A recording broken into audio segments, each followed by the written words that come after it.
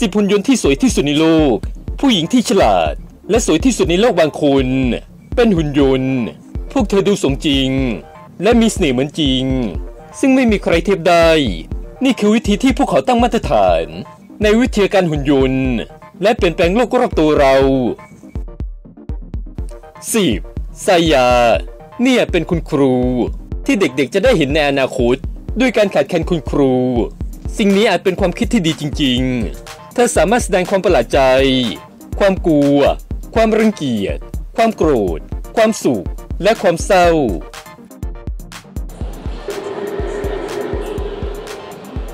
怖がって悲しんで 9. HRPKCC ชื่อเล่นมีอิม เป็นมนุษย์ไซเบอร์เนติก ออกแบบมาให้เหมือนผู้หญิงญี่ปุ่นทั่วไป สร้างขึ้นโดย AIST ซึ่งเป็นศูนย์วิจัยญี่ปุ่น เธอสามารถเคลื่อนไหวเหมือนมนุษย์ได้ โดยใช้ประโยชน์จากมอเตอร์ 30 ตัวทั่วร่างกาย และอีก 8 ตัว ในการแสดงออกทางสีหน้า มีอิม ยังสามารถตอบสนองต่อเสียงพูด โดยใช้ซอฟต์แวร์จดจำเสียงพูด และสามารถจดจำเสียงรอบข้างได้ มีอิม สามารถร้องเพลงได้ ด้วยการใช้ Vocaloid Synthesizer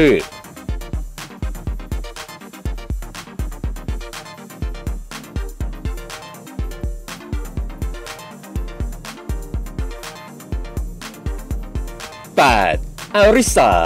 พนักงานต้อนรับหุ่นยนต์อนิเมะฮิวแมนอยตัวนี้ ตกอยู่ในโหมดมังงะมากกว่า ด้วยผมสีม่วง และดวงตาที่โตเกินไป แต่ก็ยังมีบางสิ่งที่มีเสน่ห์เกี่ยวกับมัน ไม่น่าแปลกใจเลย ที่รู้ว่าการสร้าง THK และอารุสไซเกมมิ่งนั้น ใช้สำหรับงานส่งเสริมการขาย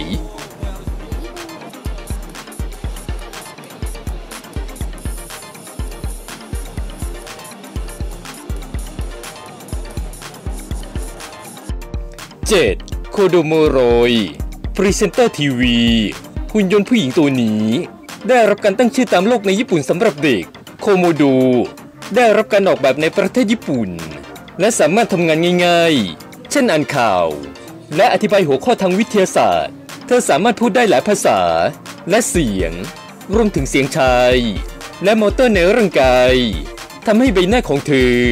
เคลื่อนไหวอย่างสมจริงเมื่อเธอพูด ปัจจุบันเธอทำงาน ที่พิพิธภัณฑ์วิทยาศาสตร์ และนวัตกรรมแห่งชาติของโตเกียว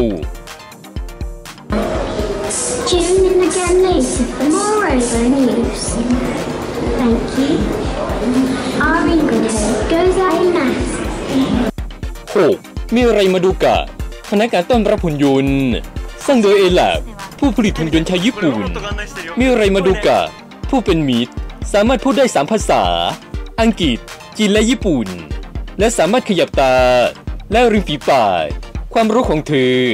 ไม่ค่อยมีมากนัก แต่เธอดูเหมือนจริงมาก จนฉันต้องรวมเธอไว้ด้วย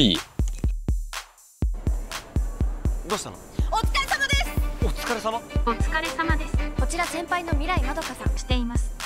今度ランチ行きましょうね 5. เอริกา เอริกา เป็นแอนดรอยขั้นสูง ที่พัฒนาขึ้น เป็นแพลตฟอร์มการวิจัย เพื่อศึกษาปฏิสัมพันธ์ ระหว่างมนุษย์กับหุ่นยนต์ เช่นการจดจำเสียง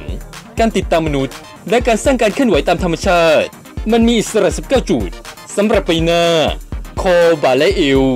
และสามารถแสดงออกทางสีหน้า และท่าทางการเคลื่อนไหวต่างๆ ได้ รูปลักษณ์ของเธอ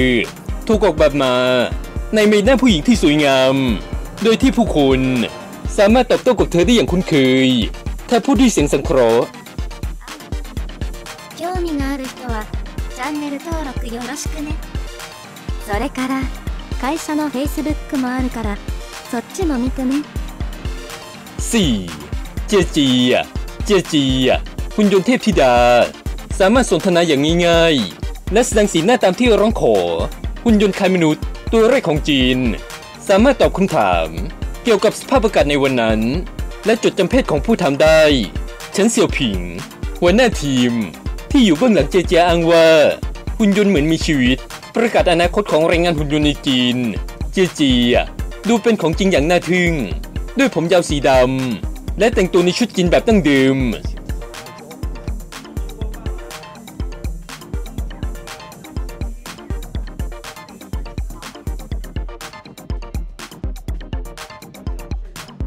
ส3มาร์กวันหุ่นยนต์ตัวนี้ ออกแบบโดยริกิมา ในฮ่องกงเขาใช้เวลามากกว่า 1 ปี และเงิน 50,000 ดอลลาร์ทำตามความฝันในวัยเด็ก เพื่อสร้างหุ่นยนต์ฮิวแมนอยด์ขนาดเท่าตัวจริง 70%ของร่างกายมนุษย์เพศหญิง สร้างขึ้นจากการพิมพ์สามมิติ เธอมีดวงตาที่เป็นของเหลว และสามารถแสดงสีหน้าอย่างละเอียด เช่นยกคิ้วของเธอ ด้วยความประหลาดใจ และแม้แต่กระพริบตา ในขณะที่ถูกพูดถึง generates more direct. Do you think Ricky? I really love you because you is my creator. Mama, I love you. Me too. 2. ชิฮิราคานาเอะหุ่นยนต์นี้ ถูกออกแบบมา ให้มีลักษณะเหมือนมนุษย์มากที่สุด มีรายงานว่า ตั้งแต่เปิดตัว มันได้อัปเกรดระบบควบคุมของเครื่อง เพื่อให้การเคลื่อนไหวราบรื่นขึ้นโดยชิบ้านำหุ่นยนต์ ชิฮิราคานาเอะมาที่ ITB Travel Expo เพื่อเน้นสิ่งที่หวัง ว่าจะเป็นผลิตภัณฑ์ที่มีประโยชน์สำหรับอุตสาหกรรมการท่องเที่ยว คุณได้รับการติดตั้ง ที่โต๊ะประชาสัมพันธ์ ซึ่งตอบคำถามผู้เข้าร่วมประชุม โดยเฉพาะเกี่ยวกับการประชุม I would like to take on various jobs, such as a counselor, newscaster, cheerleader, and entertainer. First, you wrote in the world is my 1. โซเฟีย โซเฟีย หุ่นยนต์ฮิวแมนอยด์ทางสังคม เป็นหุ่นยนต์ที่ทันสมัยที่สุด ที่ฮันสันทำไว้จนถึงปัจจุบัน เธอเป็นหุ่นยนต์ตัวแรก ที่มีความเป็นพลเมือง ที่เหมาะสม มีสิทธิมากกว่าผู้หญิงอื่นๆในซาอุดีอาระเบีย โซเฟียมีใบนาที่ทำมาจากฟับเบอร์ ซึ่งประกอบด้วยกระแสไฟฟ้า ที่ทำให้หุ่นแสดงสีหน้า และขยับคอได้ 62 แบบ เพื่อให้ใกล้เคียงมนุษย์ที่สุด ความคิดของเธอทำงานบนไมค์คา เครือข่ายนิโรและซอฟต์แวร์ AI บนเขาทำให้หุ่นยนต์ สามารถรักษาการติดต่อ จดจำใบหน้า ประมวลผล และเข้าใจคำพูด และการสนทนาที่ค่อนข้างเป็นธรรมชาติ